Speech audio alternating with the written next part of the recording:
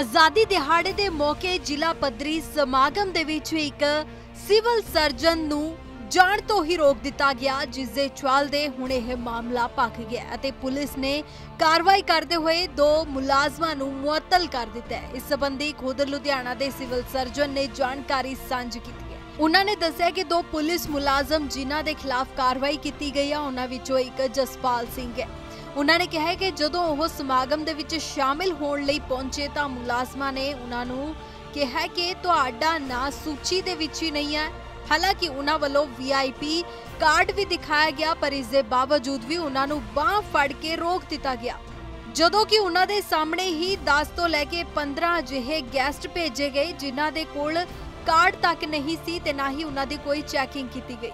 ਜਿਸ ਤੋਂ ਬਾਅਦ ਉਹਨਾਂ ਨੇ ਸਮਾਗਮ ਦੇ ਵਿੱਚ ਤਾਂ ਕੁਝ ਨਹੀਂ ਬੋਲਿਆ, ਪਰ ਬਾਅਦ ਦੇ ਵਿੱਚ ਲਿਖਤੀ ਸ਼ਿਕਾਇਤ ਲੁਧਿਆਣਾ ਦੇ ਡਿਪਟੀ ਕਮਿਸ਼ਨਰ ਨੂੰ ਭੇਜੀ, ਜਿਸ ਤੋਂ ਬਾਅਦ ਉਹਨਾਂ ਨੇ ਐਕਸ਼ਨ ਲੈਂਦੇ ਹੋਏ ਇਹ ਲਿਖਤੀ ਸ਼ਿਕਾਇਤ ਐਸਡੀਐਮ ਨੂੰ ਮਾਰਕ ਕਰ ਦਿੱਤੀ, ਜਿਨ੍ਹਾਂ ਨੇ ਇਸ ਦੀ ਜਾਂਚ ਕੀਤੀ ਅਤੇ ਲੁਧਿਆਣਾ ਦੇ ਪੁਲਿਸ ਕਮਿਸ਼ਨਰ ਨੂੰ ਵੀ ਇਸ ਸੰਬੰਧੀ ਲਿਖਤੀ ਦੇ ਵਿੱਚ ਕਾਰਵਾਈ ਕਰਨ ਲਈ ਭੇਜਿਆ, ਜਿਸ ਤੋਂ ਬਾਅਦ ਦੋ ਪੁਲਿਸ ਮੁਲਾਜ਼ਮ ਮੁਅੱਤਲ ਕਰ ਦਿੱਤੇ ਗਏ ਨੇ। ਕੱਲ 8:58 ਮਿੰਟ ਤੇ ਸਾਡੇ ਜਿਹੜੇ ਚੀਫ ਗੈਸਟ ਸੀ, ਸਾਡੇ ਕੈਬਨਿਟ ਮੰਤਰੀ ਸਰਦਾਰ ਬਕਾਰ ਸਿੰਘ ਉਹਨਾਂ ਨੇ ਝੰਡਾ ਚਲਾਉਣਾ ਸੀ। ਜ਼ਿਲ੍ਹਾ ਪ੍ਰਸ਼ਾਸਨ ਵੱਲੋਂ ਪੀਏਯੂ ਦੇ ਵਿੱਚ ਜਿਵੇਂ ਤੁਹਾਨੂੰ ਪਤਾ ਹੈ, ਇੱਕ ਜ਼ਿਲ੍ਹਾ ਪੱਧਰੀ ਫੰਕਸ਼ਨ ਸੀਗਾ।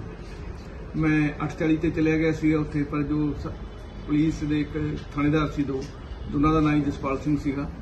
ਉਹਨਾਂ ਨੇ ਕਿਹਾ ਕਿ ਤੁਹਾਡਾ ਨਾਮ ਲਿਸਟ 'ਚ ਹੈ ਨਹੀਂਗਾ ਇਸ ਕਰਕੇ ਤੁਸੀਂ ਅੰਦਰ ਨਹੀਂ ਜਾ ਸਕਦੇ। ਮੈਂ ਉਹਨਾਂ ਨੂੰ ਆਪਣਾ ਵੀਆਈਪੀ ਜਿਹੜਾ ਪਾਸ ਸੀ ਉਹ ਵੀ ਦਿਖਾਇਆ। ਉਹਨਾਂ ਨੂੰ ਇਹ ਵੀ ਕਿਹਾ ਕਿ ਮੇਰੇ ਕੋਲ ਆਈ ਕਾਰਡ ਹੈ, ਸਿਵਲ ਸਰਜਨ ਜੇ ਤੁਸੀਂ ਵੈਰੀਫਾਈ ਕਰਨਾ ਚਾਹੁੰਦੇ ਹੋ, ਇਹ ਵੀ ਕਰ ਲਓ। ਤੇ ਪਰ ਉਹਨਾਂ ਦੇ ਚੋਂ ਇੱਕ ਜਣੇ ਨੇ ਮੇਰੀ ਮਤਲਬ ਕਿ ਬਾਹ ਫੜ ਕੇ ਕਹਿੰਦਾ ਜੀ, ਤੁਸੀਂ ਇੱਧਰ ਹੋਵੋ ਪਾਸੇ ਚੱਲੋ। ਤੇ ਮੇਰੇ ਡਿਪਟੀ ਮਾਸ ਮੀਡੀਆ ਨਾਲ ਸੀ, ਸਾਡੇ ਡਿਸਟ੍ਰਿਕਟ ਐਪੀਡੈਮਿਓਲੋਜਿਸਟ ਨਾਲ ਸੀ, ਸਾਡੇ ਇੱਕ ਸੈਨੇਟਰੀ ਇੰਸਪੈਕਟਰ ਨਾਲ ਸੀ, ਉਹਨਾਂ ਨੇ ਵੀ ਉਹਨਾਂ ਨੂੰ ਰਿਕੁਐਸਟ ਕੀਤੀ ਵੀ ਸਿਵਲ ਸਰਜਨ ਸਾਹਿਬ ਨੇ। ਪਰ ਉਹਨਾਂ ਨੇ ਕੋਈ ਪਰਵਾਹ ਨਹੀਂ ਕੀਤੀ ਤੇ ਬਦਕਿਸਮਤੀ ਨਾਲ ਮੇਰੇ ਸਾਹਮਣੇ ਖੜੇ ਖੜੇ 10 ਤੋਂ 15 ਇਹੋ ਜਿਹੇ ਗੈਸਟ ਅੰਦਰ ਜਾਣ ਦਿੱਤੇ ਗਏ, ਜਿਨ੍ਹਾਂ ਦੇ ਨਾ ਤਾਂ ਪਾਸ ਚੈੱਕ ਕੀਤੇ ਗਏ, ਨਾ ਆਈ ਕਾਰਡ ਚੈੱਕ ਕੀਤੇ ਗਏ। ਨੈਚੁਰਲੀ ਮੈਨੂੰ ਲੱਗਿਆ ਕਿ ਇਹ ਇੱਕ ਮੇਰੀ ਵਿਅਕਤੀਗਤ ਤੌਰ ਤੇ ਨਹੀਂ, ਇੱਕ ਸਿਵਲ ਸਰਜਨ ਦੇ ਅਹੁਦੇ ਦੀ ਮਤਲਬ ਕਿ ਤੋਹੀਨ ਹੈ। ਤੇ ਮੈਂ ਉੱਥੇ ਕੋਈ ਮਤਲਬ ਕਿ ਰਿਐਕਟ ਨਹੀਂ ਕੀਤਾ। ਮੈਂ ਨਹੀਂ ਸੀ ਚਾਹੁੰਦਾ ਕਿ ਇਸ ਜਿਹੜਾ ਇੱਕ ਨੈਸ਼ਨਲ ਡੇ ਆਪਣਾ ਕੌਮੀ ਦਿਹਾੜਾ ਹੈਗਾ, ਇਹਦੀ ਗ੍ਰੇਸ ਖ- ਖਰਾਬ ਕੀਤੀ ਜਾਵੇ। ਮੈਂ ਚੁੱਪ ਕਰਕੇ ਕਾਰ ਦੇ ਵਿੱਚ ਆ ਕੇ ਬੈਠ ਗਿਆ, ਸਾਡੀ ਐਂਬੂਲੈਂਸ ਦੇ ਨਾਲ ਉੱਥੇ ਖੜੀ ਸੀਗੀ।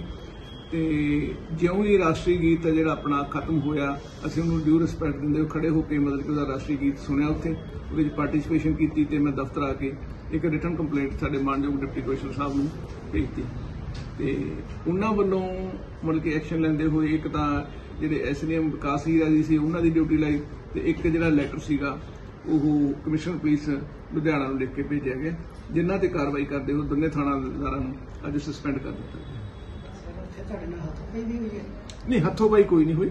ਸਿਰਫ ਉਹਨੇ ਮੇਰੀ ਬਾਹ ਫੜ ਕੇ ਇੱਕ ਡਿਸਗ੍ਰੇਸਫੁਲ ਤਰੀਕੇ ਨਾਲ ਉਹਨੇ ਮੈਨੂੰ ਬਾਹਰ ਕੀਤਾ।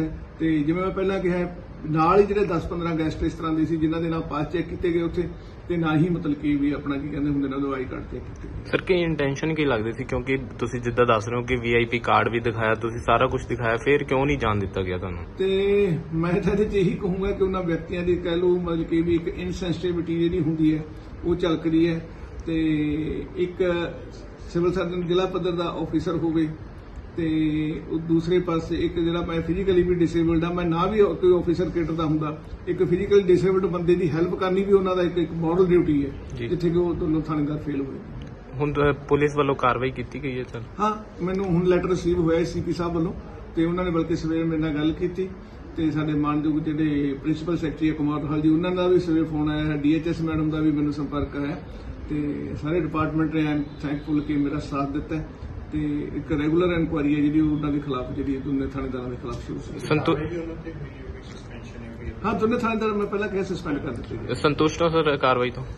ਨੈਚੁਰਲੀ ਸੰਤੁਸ਼ਟ ਹਾਂ ਜੋ ਇਨੀਸ਼ੀਏਟਿਵ ਲਿਆ ਗਿਆ ਉਹਦੇ ਵਿੱਚ I am thankful to the authority ਪਰ ਮੈਨੂੰ ਇਹ ਹੈ ਕਿ ਅੱਗੇ ਤੋਂ ਮਤਲਬ ਇਸ ਤਰ੍ਹਾਂ ਦੀ ਘਟਨਾ ਕਿਉਂਕਿ ਪਿਛਲੇ ਸਾਲ ਵੀ ਮੈਨੂੰ ਬਾਅਦ ਚ ਜਦੋਂ ਪਤਾ ਲੱਗਿਆ ਸਾਡੇ ਏਸੀਐਸ ਸਾਹਿਬ ਜਿਹੜੇ ਆਫੀਸ਼ੀਏਟਿੰਗ ਸਿਵਲ ਸਰਜਨ ਸੀ ਉਹਨਾਂ ਨੂੰ ਵੀ ਪਿਛਲੇ ਸਾਲ 15 ਅਗਸਤ ਤੇ ਚੇਅਰ ਨਹੀਂ ਸੀ, ਉੱਥੇ ਉਹਨਾਂ ਦੀ ਕੋਈ ਮਾਰ ਕੀਤੀ ਉਹਨਾਂ ਨੂੰ ਬ- ਛੱਡ ਕੇ ਆਉਣਾ ਪੈ ਗਿਆ ਸੀ।